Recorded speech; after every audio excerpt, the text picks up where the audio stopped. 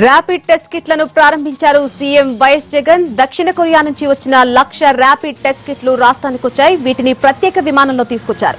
Rapid test కిట్ల ద్వారా కేవలం పది నిమిషాల్లో ఫలితాలొస్తాయి కమ్యూనిటీ టెస్టింగ్ కోసం ర్యాపిడ్ కిట్లను ఉపయోగిస్తామని ప్రభుత్వం చెబుతోంది.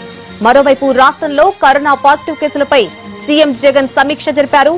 ఒక్క రోజులోనే ముప్పై ఎనిమిది కేసులు నమోదు కావడం కర్నూలులో భారీగా కేసులు పెరుగుతూ ఉండడంపై సీఎం ఆరా తీశారు.